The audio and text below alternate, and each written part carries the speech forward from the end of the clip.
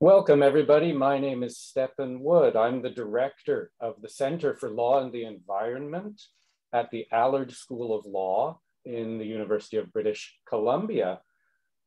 Welcome to the first in a series of free webinars on the subject Towards Legal Recognition for Non-Human Relations, brought to you by the Center in partnership with UBC Sustainability and the Center for Democratic and Environmental Rights. This webinar is on the subject of rivers. Bienvenue à la série de webinaires vers la reconnaissance. Un moment.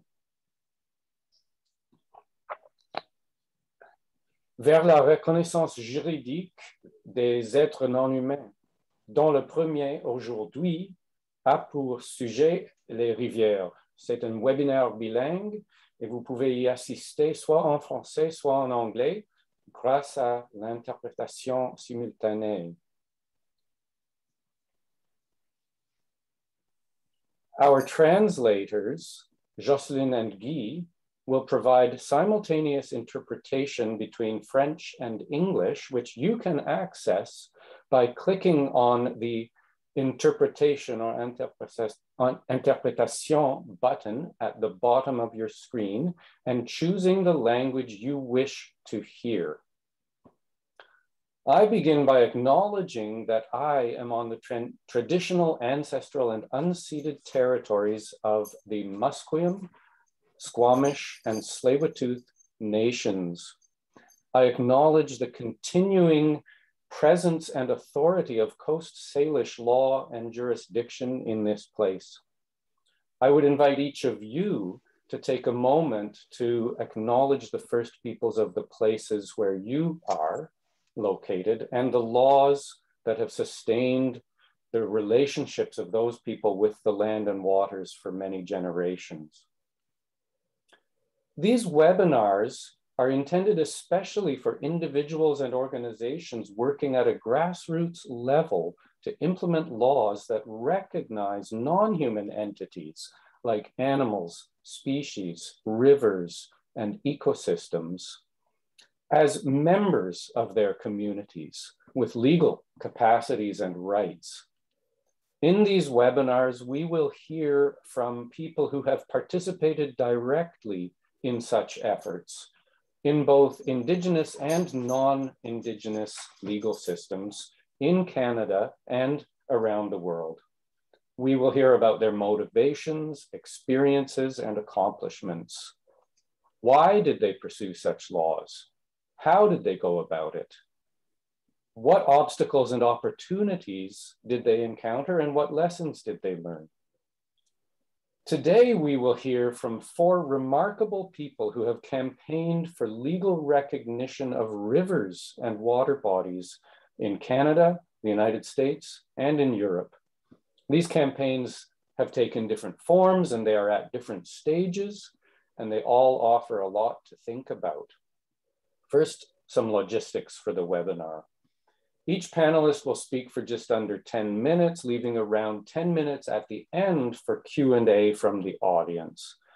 I'll introduce the panelists very briefly before they speak. You can find detailed biographies on the event page where you registered at the center's website, um, allard.ubc.ca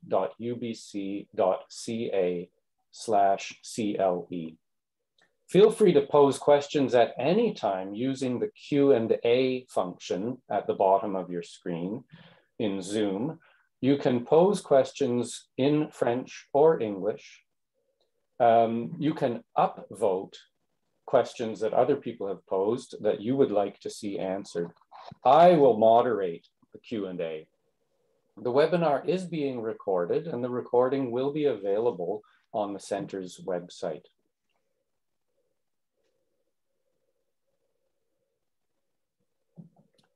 Alors, on commence au Québec avec Maître Yenny Vega Cardenas, présidente de l'Observatoire international euh, des droits de la nature, et Monsieur Pierre-Olivier Boudreau, directeur de la conservation pour la Société pour la nature et les parcs, SNAP Québec, qui parleront ensemble des droits de la Mutahekau Chipou, la rivière Magpie, et du fleuve Saint-Laurent.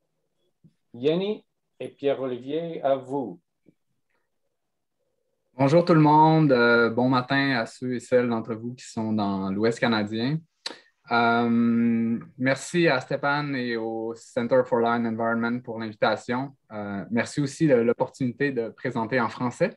C'est très apprécié. Je vais essayer de parler lentement et faire des pauses pour faciliter le travail des interprètes. Moi, je suis basé en Mauricie, dans la région de la Mauricie, au Québec, qui est un territoire non cédé à Tikamek.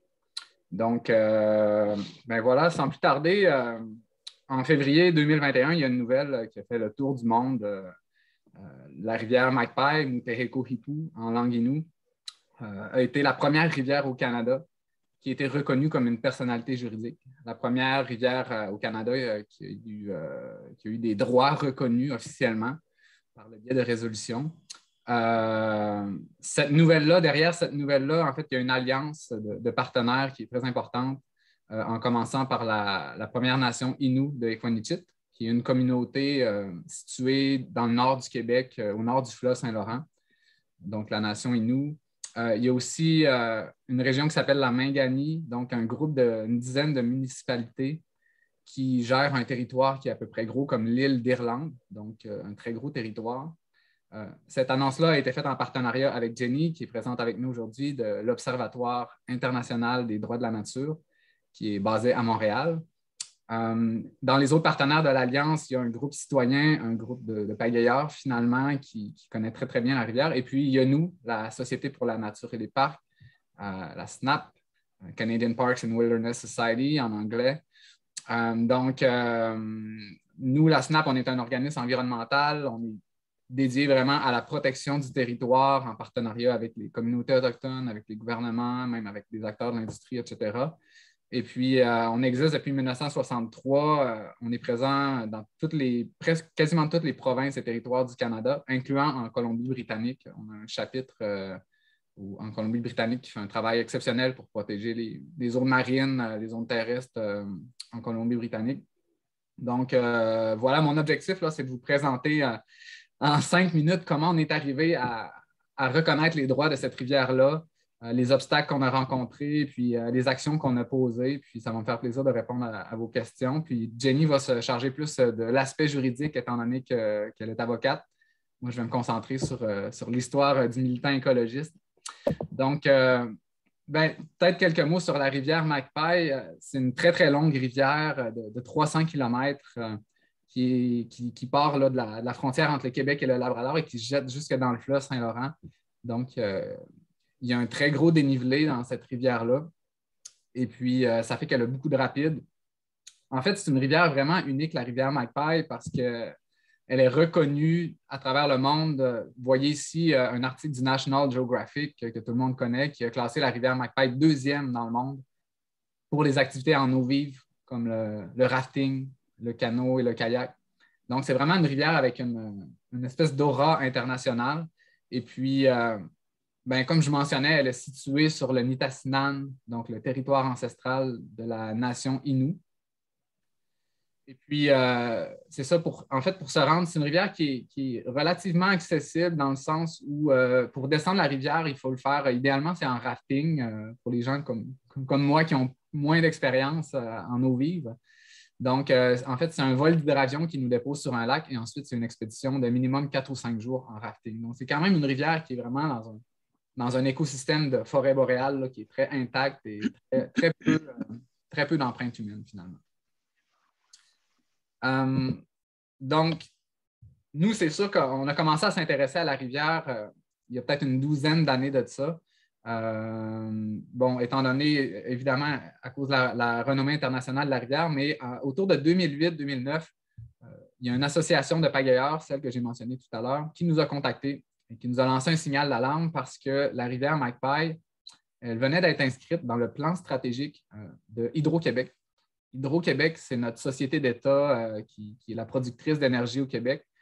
Et puis, euh, donc, la compagnie avait inscrit la rivière Magpie comme, en fait, on a compris à ce moment-là qu'elle avait des visées pour son développement énergétique, pour la construction d'un complexe hydroélectrique de près de 800 MW, donc un gros, gros, gros projet.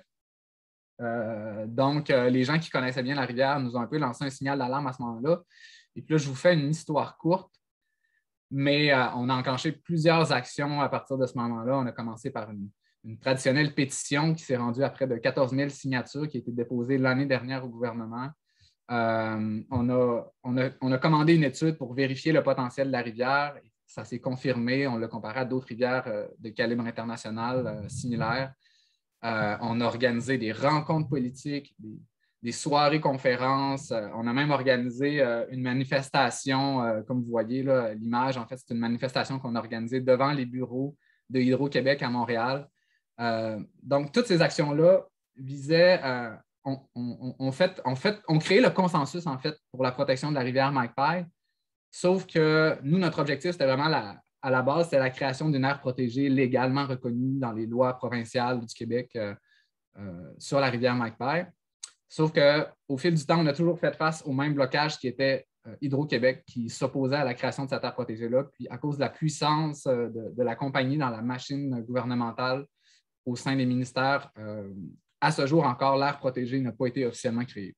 Par contre, autour de 2018, il y a à peu près trois ans, euh, Jenny et l'Observatoire des droits de la nature et d'autres personnes ont, publié une lettre ouverte euh, dans un journal euh, assez connu au Québec qui proposait de reconnaître les droits du fleuve Saint-Laurent.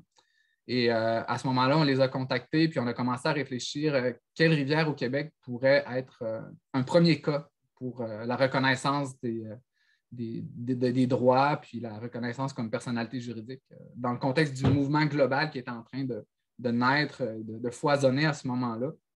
Donc, on a regardé quelques rivières et puis euh, ça s'est avéré assez clairement que la rivière Magpie était vraiment euh, notre meilleur premier cas. Premièrement, à cause du lien entre les Premières Nations et la rivière qui est millénaire, qui est là depuis longtemps. Deuxièmement, à cause de la reconnaissance qui était déjà internationale de cette rivière-là. Et puis, ben, c'est ça, finalement, à cause du consensus dont je vous ai parlé qu'on a réussi à créer pour la protection de la rivière, mais aussi sa mise en valeur et puis le développement récréo-touristique.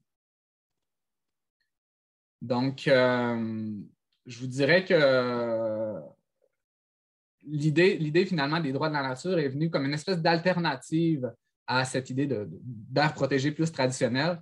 En fait, c'est une démarche parallèle qu'on a faite qui est totalement compatible, à notre avis, avec la création d'une aire protégée, qui l'est toujours d'ailleurs. Euh, et puis, avant de passer la parole à Jenny, je terminerai en vous disant que finalement, bon, Jenny va vous parler peut-être plus des, mécanismes juridiques qu'on a choisis, les deux résolutions qui ont été votées et tout. Mais je terminerai en vous disant que pour nous, bon, les prochaines étapes, c'est euh, de nommer des gardiens légaux pour euh, représenter la rivière. Ça, c'est extrêmement important. Et puis, on va toujours continuer à poursuivre les démarches pour qu'il y ait une aire protégée qui soit reconnue. Et maintenant, on se dirige vraiment plus vers le concept, euh, pour ceux qui sont familiers, vers une aire protégée autochtone donc, une aire qui serait gérée soit par les, Inuits, la Première Nation Inuit, ou en, partenariat avec, avec d'autres instances gouvernementales. Donc, c'est vraiment les prochaines étapes qui nous attendent. Donc, sans plus tarder, je passerai la parole à Jenny pour nous parler de, comment, comment ça s'est passé au niveau plus juridique. Bon, merci beaucoup, Pierre-Olivier, de, cette belle présentation. Et euh, j'aimerais remercier le euh, professeur Stéphane Woods pour, euh, pour l'invitation et pour l'organisation de cette série de webinaires. Je trouve totalement pertinent et important dans ce moment actuel où les gens deviennent plus conscients de l'importance de protéger la nature. L'Observatoire, mais avant tout, j'aimerais aussi reconnaître que nous sommes, actuellement, je suis à Montréal, c'est un territoire autochtone non cédé. Et, puis nous reconnaissons la nation Kanikenaka euh, de Mohawk comme gardienne des terres et des eaux sur lesquelles on travaille et vivons aujourd'hui. D'ailleurs, on aimerait aussi, avec notre projet Saint-Laurent, que cette reconnaissance ne reste pas juste en parole, mais que ça s'inscrive dans la loi. Donc, dans, une loi, on puisse reconnaître comme des gardiens ancestraux et avec des pouvoirs essentiels pour protéger les fleuves, les nations qui habitent et qui ont été des gardiens des fleuves pendant des millénaires. Euh, donc, pourquoi, pourquoi on a travaillé là-dessus? Euh, effectivement, euh, ça a été une belle équipe, un beau travail de collaboration avec les SNAP, avec la, communauté d'Inu, des Kwanichit, avec la MRC des Mangani, et puis plusieurs personnes qui contribuaient aussi à ce moment-là à l'équipe et qui travaillaient avec moi dans l'équipe de l'Observatoire international des droits de la nature. Et euh, on, a, on était vraiment convaincus de, de, faire ces changements de paradigme, de vraiment faire le pas vers la reconnaissance de la nature comme sujet de droit, étant donné qu'on euh, a vu ce qui s'est passé en Nouvelle-Zélande, en Colombie, et euh, étant originaire de la Colombie, j'étais particulièrement, particulièrement, intéressée de comprendre comment ça s'est passé. Et puis, en faisant des entrevues de terrain, j'ai compris l'impact que ça avait eu en droit et en fait. Donc, pas seulement sur le papier, mais sur le terrain pour les communautés qui habitaient au bord du fleuve Atrato. Donc, je trouvais que c'était important aussi de, pouvoir promouvoir ces modèles et puis ces changements de paradigme également au Canada. Et puis, on a eu la belle opportunité, je pense que c'était un alignement des étoiles euh, qu'on a eu d'avoir ces consensus pour euh, l'adoption de, ces résolutions miroirs. Euh, qui ont été adoptées pour donner vie finalement à un droit à la rivière Magpie, parce qu'actuellement, en droit, l'eau n'existe pas nécessairement comme un, euh, comme un sujet, mais comme un objet. Et comme un objet, et là, elle peut être détruite comme finalement la nature. Parce que nos économies sont euh, basées sur la destruction de la nature et on est convaincu qu'il faut changer ces paradigmes et en vertu de laquelle on va lui donner une voix et une véritable valeur. Et par, et par, et par la même euh, via, on doit reconnaître qu'il peut subir un préjudice et qu'on est responsable de le réparer. Euh, donc, vous voyez ici les deux résolutions miroirs. C'est une collaboration extraordinaire aussi entre euh, les communautés régionales, locales qui se rallient, collaborent pour donner une protection euh, inégale à une rivière, la première rivière au Canada qui recevra des droits. Donc, ça a été vraiment une collaboration remarquable, que ça commence aussi et ça contribue au processus de réconciliation entre les Premières Nations et les, non-autochtones. Donc, c'est vraiment extraordinaire. Si on voit dans la diapositive suivante, et, euh, on a divisé les résolutions. Euh, c'était un fruit de travail d'équipe parce qu'on a travaillé en étroite collaboration avec tous les partenaires pour euh, finalement essayer de traduire toute leur cosmologie à l'intérieur de ces résolutions pour les mettre dans les termes les plus juridiques et également qu'ils soient des bases solides en droit. Et puis, euh, on a différentes bases en droit, que ce soit des droits provinciaux, des droits fédéraux, des droits des, euh, qui viennent de la source de jurisprudence, droit international et droit des traditions juridiques autochtones. Donc, vraiment cinq fondements, fondements en droit très solides. Et puis, c'est un travail assez important. On était inspiré aussi par d'autres résolutions qui ont été adoptées ailleurs dans le monde, également par la Déclaration universelle des droits des rivières des, fleuves, des Earth Center, mais aussi d'autres résolutions qui ont été adoptées par des nations autochtones aux États-Unis, par la loi de Nouvelle-Zélande euh, qui a été proposée ou a été négociée entre les Maoris et le gouvernement, et aussi par les droits reconnus en Colombie pour le fleuve Atat. Euh, il y a aussi des responsabilités, devoirs établis de manière détaillée pour les gardiens. Et ça, on trouvait que c'est important parce que les gardiens sachent c'est quoi les tâches qu'ils vont faire. C'est important de savoir c'est quoi, euh, quoi l'engagement. Parce qu'on va donner certes des droits à la rivière, mais les responsabilités vont venir pour les gardiens. Ce sont eux qui ont la responsabilité finalement de veiller à que ces droits soient respectés. Euh, si on continue sur la diapositive suivante, et actuellement, euh, l'Observatoire travaille sur son projet phare qui c'est de reconnaître une personnalité juridique au fleuve Saint-Laurent. Et c'est un travail colossal. On a publié un livre tout d'abord, un fruit d'une collaboration et des recherches depuis deux ans, et dans laquelle on, on il est composé de différents chapitres écrits par des experts en droit de la nature, juristes de différents pays au monde où le changement de paradigme a opéré pour voir c'est quoi l'impact au niveau juridique. Et on a, euh, il y a un annexe, c'est un projet de loi qu'on propose pour le fleuve Saint-Laurent, tant en français anglais. D'ailleurs, on commence euh, le 26 septembre une consultation publique auprès de la population euh, de la province du Québec pour finalement voir, euh, récolter les opinions des gens, des acteurs, voir qu'est-ce s'ils sont d'accord avec euh, ce changement de paradigme, avec aller vers le, le de reconnaissance d'un statut juridique en droit. Également, voir c'est qui pour eux qui seraient les meilleurs gardiens du fleuve D'autres questions font, font vraiment objet d'un formulaire qui fait partie de l'invitation qu'on fait circuler actuellement sur nos, réseaux sociaux. Si vous voulez nous suivre sur Facebook, Observatoire international des droits de la nature. Et puis, euh, les implications de reconnaître cette personnalité juridique, euh, tout d'abord, donner une place à la nature autour de la table. Donc, euh, elle a toujours été silencieuse. C'est le moment d'entendre vraiment ce que les fleuves pensent via les gardiens qui vont devenir la voix du fleuve, qui vont s'appuyer dans les meilleures connaissances, que ce soit dans la science traditionnelle que dans les savoirs traditionnels et et en général d'une vision plurielle de ce que signifie le, fleuve pour les, euh, les, populations. Également, euh, pour les communautés qui habitent euh, finalement sur le territoire, également, ça implique de reconnaître un lien intrinsèque que les populations ont avec les fleuves. Donc, on a identifié que le, pour faire ces sauts, on doit trouver aussi un caractère identitaire. Et le fleuve, euh, est, devenu une question identitaire pour des Québécoises, des Québécois, mais aussi un, il y a un caractère sacré attribué par les nations autochtones qui l'ont navigué depuis des millénaires. Et ça, je pense, c'est un aspect, c'est une clé de voûte qui nous permet de, le penser, pas seulement comme un objet à utiliser, mais vraiment comme un milieu de vie, une partie de la tradition, une question identitaire. Et puis, faire le saut, reconnaître qu'il peut aussi subir un préjudice et qu'il peut avoir un véritable droit à la réparation. Donc, ça s'est traduit dans du concret, une question symbolique fort importante qu'on ne peut pas euh, négliger, mais aussi une question de pratique qui c'est de reconnaître que le fleuve peut subir un préjudice et puis qu'elle euh, peut recevoir une indemnité qui va finalement être investie pour sa restauration.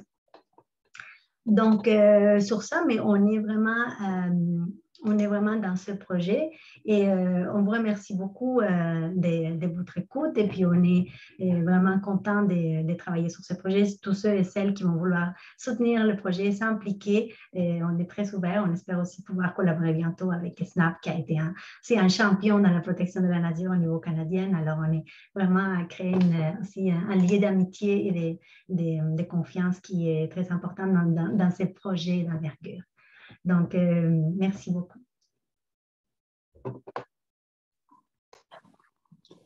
Thank you very much, uh, Yenny and Pierre-Olivier. Um, you pointed out, I think, something uh, worth noting that there might be something special or unique about rivers in terms of their identitive uh, properties that make them a particularly suitable subject for campaigns like this. So that's something to think about. Um, we'll turn to our next speaker. Our next speaker is Mumta Ito, founder of the organization Nature's Rights and initiator of a European citizens initiative to put nature's rights and earth-centered governance on the legislative agenda of the European Union.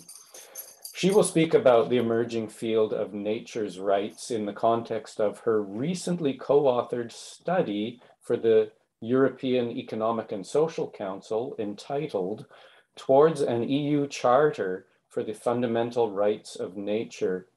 Welcome to the webinar, uh, Mumta, and thank you so much for joining us. I hope that you're able to uh, proceed.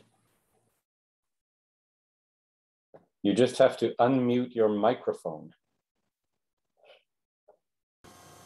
Okay, how's that? Can you can you hear me now? Brilliant. Okay, so thank you for inviting me. Um, I do note that this is a webinar predominantly about river rights. So I will talk about river rights and then I'll lead into the study that we did for the Economic and Social Council. So um, to quickly go through the questions that you asked us to contemplate on. So the first, why did you pursue such recognition? So the project in question is recognition for the rights of the River Frome in the UK. This was a project that we did in around, um, well, it took several years um, in total, but and we weren't successful. So this was the rights for a local river. The context of this, when we first started campaigning for the rights of nature in the European Union and brainstorming what would be the best way, um, there was a little bit of tension and division around within the rights of nature movement as to do we want to go for the macro level? Do we want to get something in the higher levels of law and then trickle that through? Or do you, do, should it be a ground up movement? So you go for recognition at individual levels.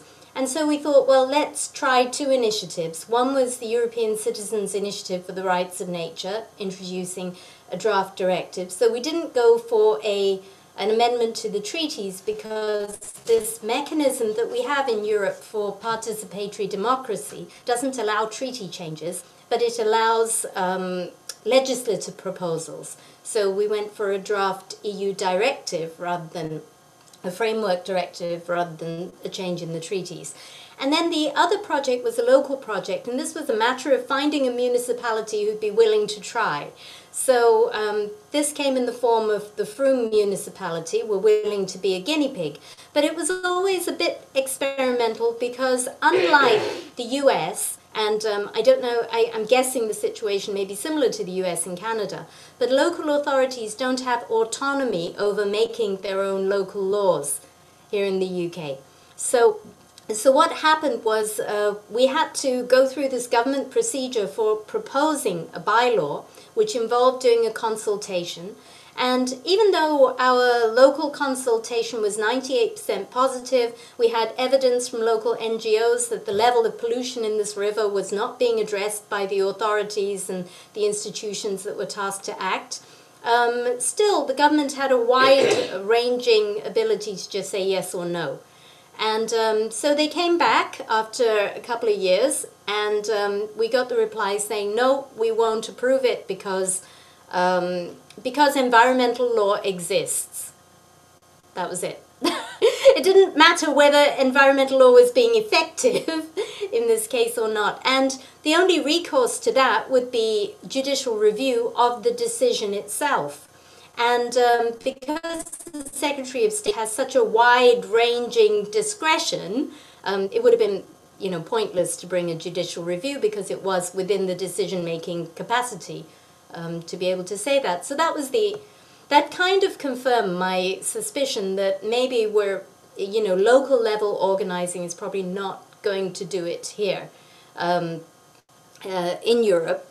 So, um, so leading on to this European Citizens Initiative, the other question is, had the rights of nature been introduced, say we were successful, what would it have achieved on a local level, apart from raising awareness and raising the question? Because the rights would have been constricted to this one section of the river that flows through the municipality of Frome, not the whole of river from source to sea. And so you know, how can one section of the river have rights and the other, and then how can you isolate the rights of the river to the ecosystems that uh, exist upon the banks of the river, which then bring into question all the agricultural practices that um, are performed along the river. Because most of the pollution in the river comes from diffuse pollution, so it comes from agricultural pollution, old sewage systems, which are a systemic problem here in the UK. And um, so it wouldn't have resolved any of those things.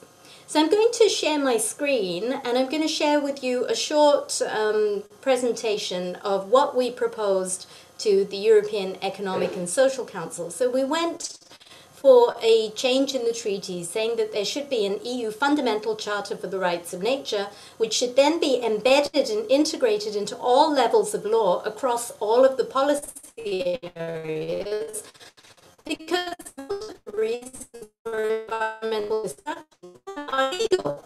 It's, it's to do with the fundamental orientation of the way our societal systems operate um, you know, the agricultural system, the energy system, the, the orientation of the economic system that's based on, on infinite growth.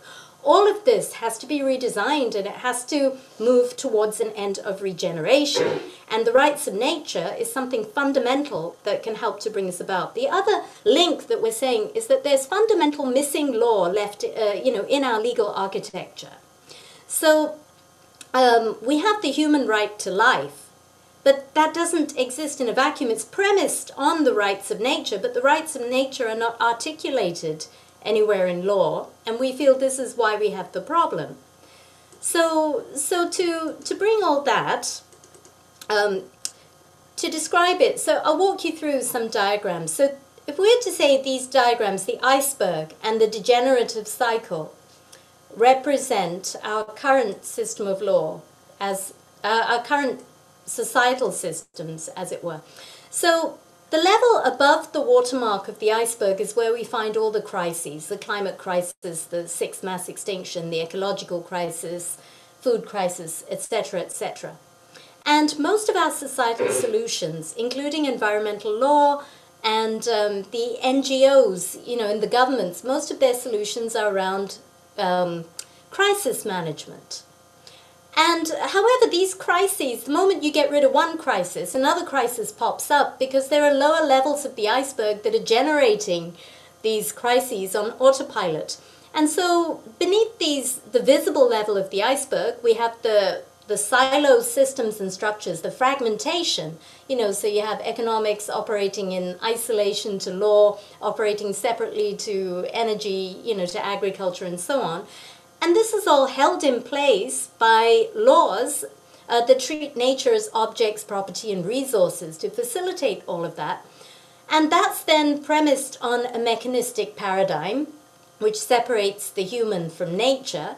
Um, which is premised on um, you know a state of consciousness, separation consciousness separates us from each other, from the natural world, and so on, which is then also sitting on a bedrock of trauma, where human beings were separated from the land. And so um, all this then leads to a self-reinforcing degenerative cycle where you get this mechanistic paradigm then encoded in law, which then protects financial interests over life and just manages the externalities of a system that is geared towards the destruction of nature um, rather than dealing with root causes. And then this leads to societal systems like the concentration of wealth and power on the back of property and corporate rights, um, economy based on infinite growth, consumerism, energy that depletes nature faster than she can replenish, uh, agricultural and food systems that poison the earth, and that then gives rise to the crises, which then increase the separation consciousness. So to move out of that, um, we need to change the paradigm, we need to transform the system, and we also need to embody the change. So this three-step thing is on the societal level, but it's also on the personal level as well, that we need to change our individual paradigms, the way we operate in our daily lives, and also our own consciousness around our relationship with nature. So in the nature's rights iceberg, you start we start with unity consciousness, which then um, gives rise to the holistic paradigm or worldview where the human being is an integral part of nature, um, which then gives rise to whole system structures which are held in place by laws that recognize the interconnectedness of all life, which then start generating positive outcomes on autopilot. So we end up getting thriving biodiversity, thriving ecosystems, um, you know, uh, climate resilience, food security, regenerative economies, um, because our societies are designed to operate in that way. And then that reinforces this regenerative cycle, um, life-giving cycle. So, so in this way, we're proposing that we use law as a vehicle for social transformation, so, so that we, the rights of nature uh, forms a new governance system uh, that then starts to, to uh, program our societal systems to operate in a regenerative way. So if we're to look at, so how does this then play out within the system? So if we look at our current sustainability model, the diagram on the left, we have people, economy, and nature. Um, but this model is flawed because it assumes that the three circles can operate independently of each other. But in reality, the only one that can operate independently is nature, because economy and people need nature to exist. So if we also look at how the legal system represents these, um, these areas, we have human rights, uh, we have corporate and property rights, but nature has no rights. And furthermore, these rights are also in an adversarial relationship.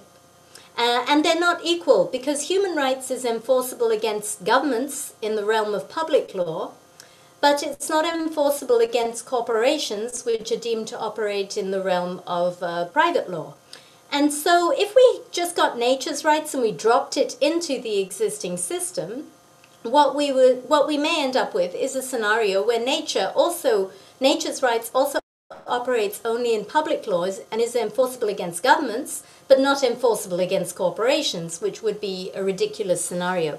So we say that the actual sustainability model needs to change, and we, it needs to be modeled on the concentric circles, and the whole framing of rights needs to change from adversarial to synergistic and ecosystemic, where the economic rights would support the human rights and both the economic and human rights would support nature's rights. And that way we end up um, uh, re- increasing the security of, of the whole. So if we then um, map that out in this 3D diagram on the right, and we map onto the different circles the sustainable development goals, and the planetary boundaries, then we get a comprehensive framework for the implementation of nature's rights in an integrated way. So you can see here how nature's rights, each circle encompasses the smaller circle, and so within nature's rights is embedded human rights and also economic rights. Um, so this also involves a different kind of dispute resolution, a more systemic and holistic form of dispute resolution that um, looks to resolve needs rather than protect interests. So, um, so that's that's sort of where where we are in a nutshell.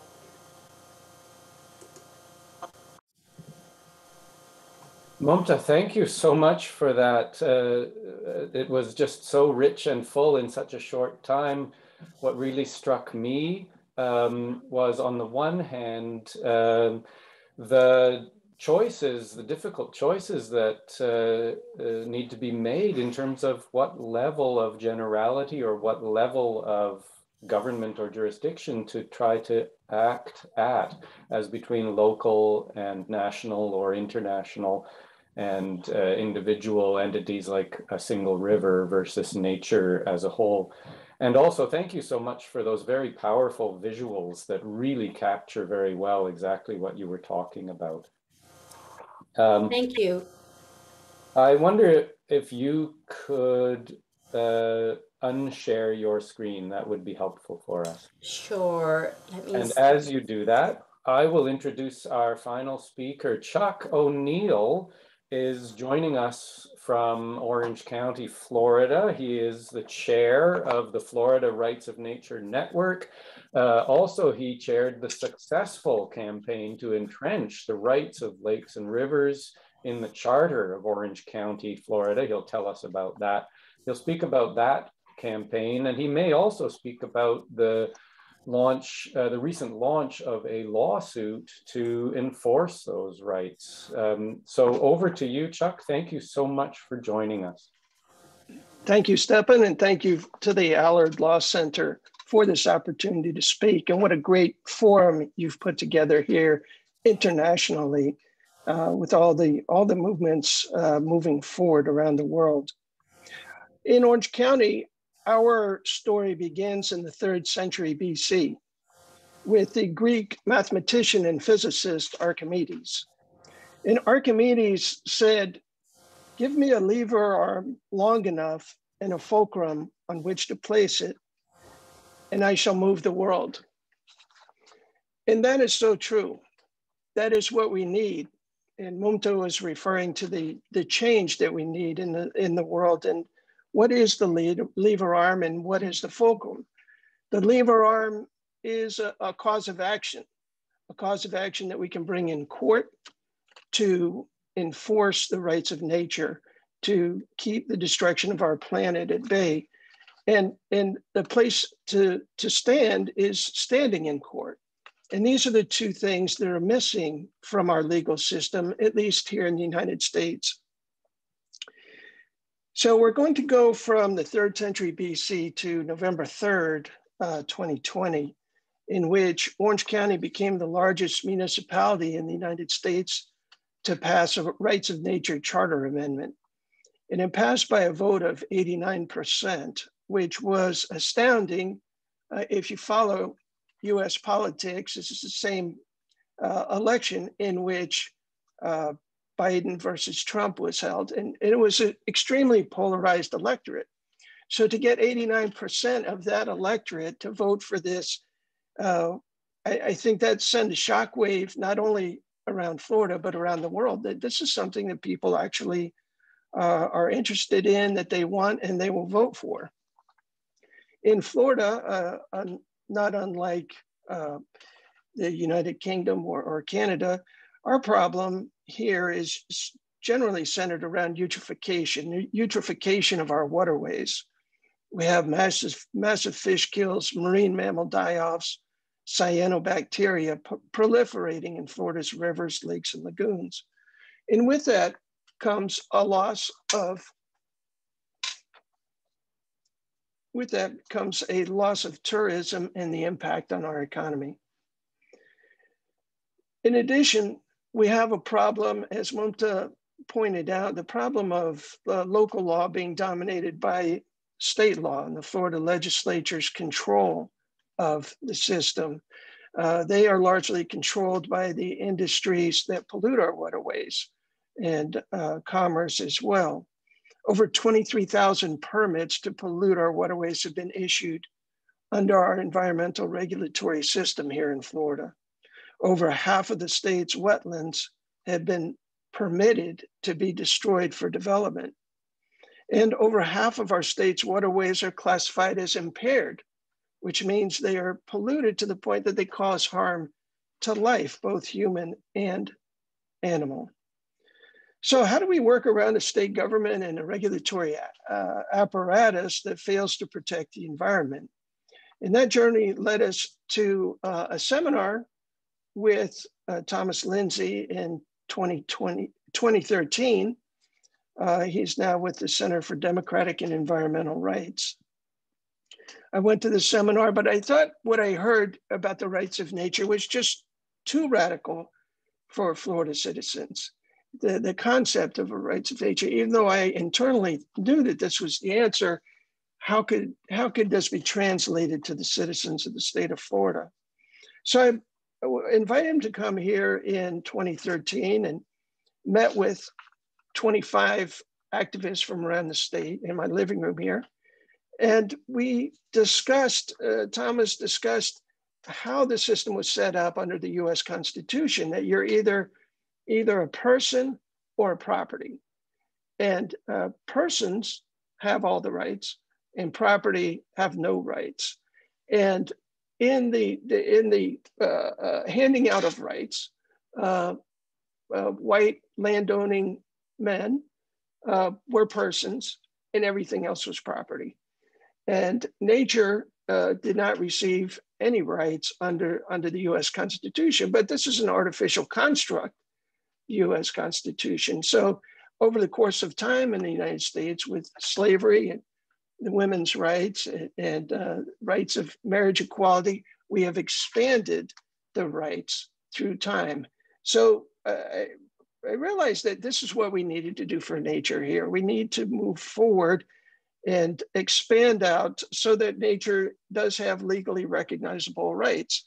Uh, this also goes back to the early 70s, in which, uh, in a case called Sierra Club versus Morton, Justice William O. Douglas, in his dissenting opinion, it was a 5 4 decision, said uh, the the critical question of standing would be simplified and also put neatly into focus, focus if we fashioned a federal rule that allowed environmental issues to be litigated before federal agencies or federal courts in the name of the inanimate object about to be despoiled, defaced, or invaded by roads and bulldozers dozers where injury is the subject of public outrage. So uh, there, there's a, a, basis in US law uh, starting with this this decision, and uh, it has it has developed through through time. In 2006, we had the first rights of nature local law in Tamaqua Borough in Pennsylvania.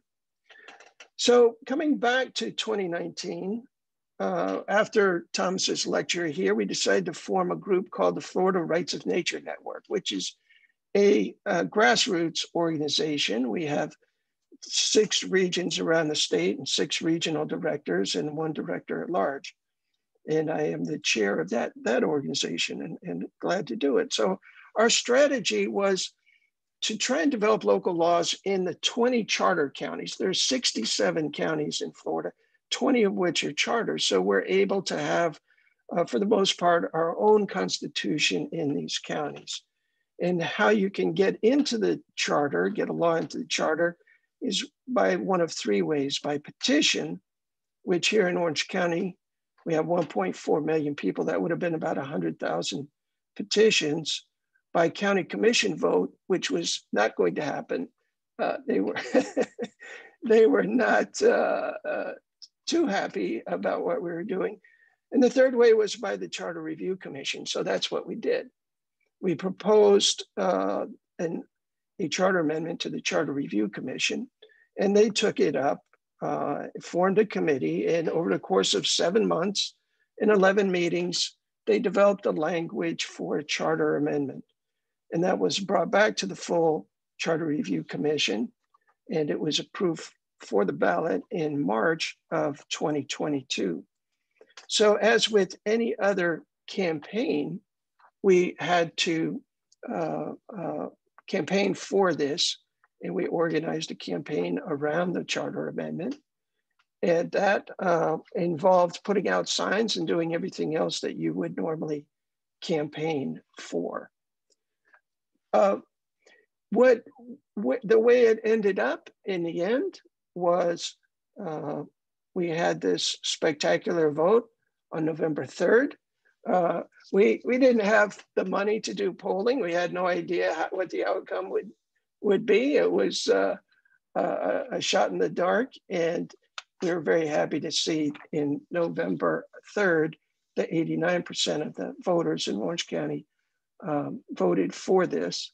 Since that time, uh, about six days after it passed, a developer filed an application to fill in over 100 acres of wetlands in Orange County. So we, felt obligated to file an action, uh, which we did in April. And the, the, the uh, this is the first enforcement action in the United States of a rights of nature suit. So the lawsuit is Wild Cypress. These are my co co-plaintiffs, Wild Cypress Branch, Boggy Branch, Crosby Island Marsh, Lake Hart, and Lake Mary Jane. So the, the rivers and lakes and wetland streams, and I are suing the developer right now in uh, circuit court, and we expect to have the first hearing on that in November of this year. So uh, Stepan, I'll hand it back over to you, and thank you so much for this opportunity.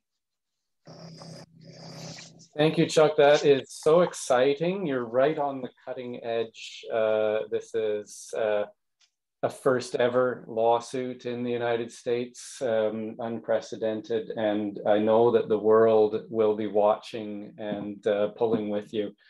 Um, so uh, thanks for that. Um, we have time for some Q&A. I mentioned at the beginning that I will moderate the Q&A and we already have a number of questions uh, up and I will, um, uh, I will uh, deal uh, with those um, uh, as we go ahead. Um, so uh, I'll, I'll just take the first one here. Um, and I can't always see who the questioner's name is. This one starts with Polky and then three dots.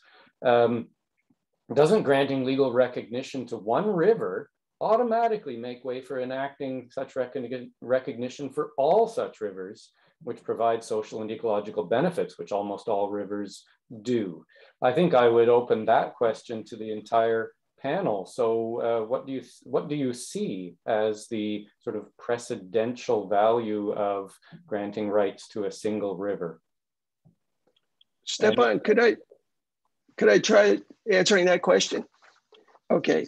Uh, it's interesting. That's a great question because when we first started, what our first proposal was to the Charter Review Commission was that we grant rights to the Wekiva and the Econlockhatchee River. And there was a lot of resistance about that. But as we went through the process, uh, one of the attorneys who was uh, on the committee said, well, what, what about all the water bodies in Orange County? What's wrong with them? Why, are, why is just Wekiva and Econ getting the rights? And, and so we expanded it out to include all natural water bodies within Orange County. So uh, to, to the questioner's uh, point, yes, you know, once you once you crack that ice, the, it it expands out, and and I think that's that's what we're doing here in the United States. What's going on with the Magpie River in Canada, and what's happening in the United Kingdom and elsewhere around the world is once you once you crack that uh, uh, that block of ice, that that iceberg that Mumta talked about. Once you start cracking that, those those cracks extend out uh, far and wide.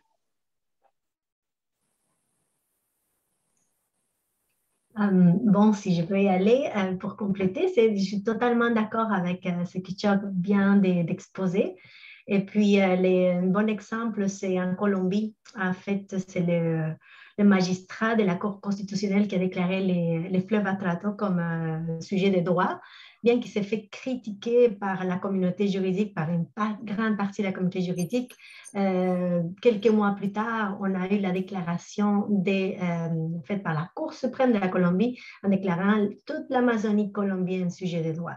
Et par la suite, à ce moment-ci, on a environ quinzaine d'entités naturelles déclarées comme sujet de droit, donc différentes rivières, des hauts des montagnes, des parcs naturels qui ont été déclarés sujet de droit. Donc, effectivement, ça a créé jurisprudence. Et puis, quand ça crée plus dense, ils peuvent s'appliquer euh, par la suite euh, de manière que ça, coule. Et pour notre projet des fleuves Saint-Laurent, on vise justement à ouvrir sa porte-là pour rendre plus facile le travail pour les autres rivières euh, du Québec et lacs. Donc, c'est une des dispositions qu'on propose dans le projet de loi qu'on travaille sur les fleuves Saint-Laurent. Moi, j'ajouterais peut-être pas question d'être en porte-à-faux, mais quand même une, certaine prudence par rapport à ça. Euh, je pense que, je pense que c'est important, de, un peu comme on le fait ici au Canada, de bien choisir les cas. Et puis, euh, Munta a dit quelque chose de très intéressant. Elle disait qu'en instaurant des systèmes de droit de la nature, euh, il faut penser à des nouveaux modèles de gouvernance. Et puis, nous, on est justement en train de vraiment de penser à ça quand on parle de désignation des gardiens. on a regardé beaucoup l'exemple de la Nouvelle-Zélande et de l'Australie. Il y a des structures de gouvernance qui sont à mon avis, beaucoup plus démocratique, euh, beaucoup plus euh, respectueuse des, des, différents êtres vivants, des relations entre les êtres vivants. Mais si on veut mettre en place ces structures de gouvernance-là, il faut avoir des cas d'exemple qui fonctionnent. Euh, il ne faut, pas, faut pas voir trop grand, à mon avis, au début, parce qu'on va revenir un peu dans le même système dans lequel on est c'est important aussi, euh, nous, pour le, projet de la rivière Magpie, on a vraiment pris une approche du, bas vers le haut, donc des communautés, locales vers, euh, vers le gouvernement. Donc, miser sur les forces des communautés locales, ça, c'est très important. Euh, donc, voilà. Merci. Uh, I apologize if um, some of uh, the answers were interrupted by my non-family member. but I forgot to mute my microphone while Yenny was speaking. Um, another question I'd like to go to is from Ross Muirhead, uh, who uh, says the health of a river depends on complex factors such as all the streams that feed into it. The health of those streams depends on the forests that protect the streams from erosion, especially in steeply sloped areas. So the question is, for Jenny and Pierre-Olivier, how much land around the Magpie River is protected?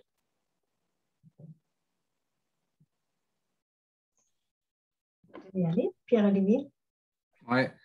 Donc, euh, ben, en fait, la, la, la, les résolutions qui ont été votées par le Conseil des Inuits euh, et puis euh, les municipalités euh, reconnaissent non seulement la rivière, mais aussi son bassin versant euh, comme sujet de droit. Donc, le bassin versant, euh, c'est vraiment tout l'espace autour de la rivière dans lequel les, eaux, finalement, se dirigent vers la rivière. Donc, ça, c'est une notion qui est très importante. Puis, nous, en fait, dans, toute la démarche parallèle de création d'une aire protégée, on vise à protéger à peu près la moitié du bassin versant de la rivière. Donc, vu que c'est un territoire qui est, énorme, c'est près de 1500 km donc, on veille vraiment à protéger aussi l'ensemble du bassin versant de la rivière c'est lié euh, de manière intrinsèque? C'est une très bonne question.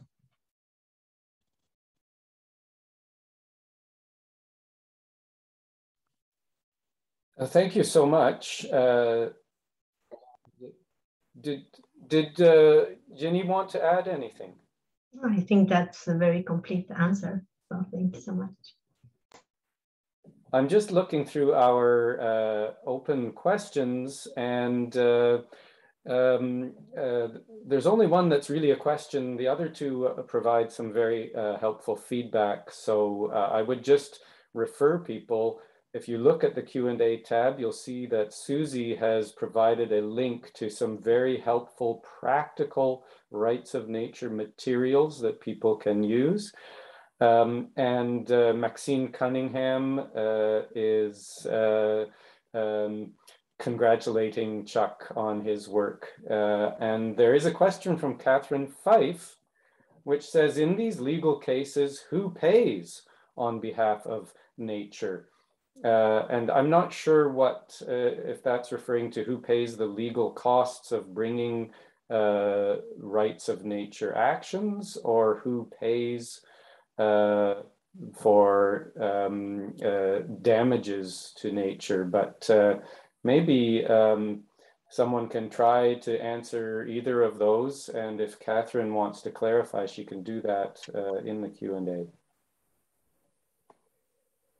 Stepan, uh, here in, in Orange County, uh, it, our Orange County Charter Amendment, uh, any citizen who has lived in the county for at least a year can bring the action. So the action is brought by the citizen represented by counsel.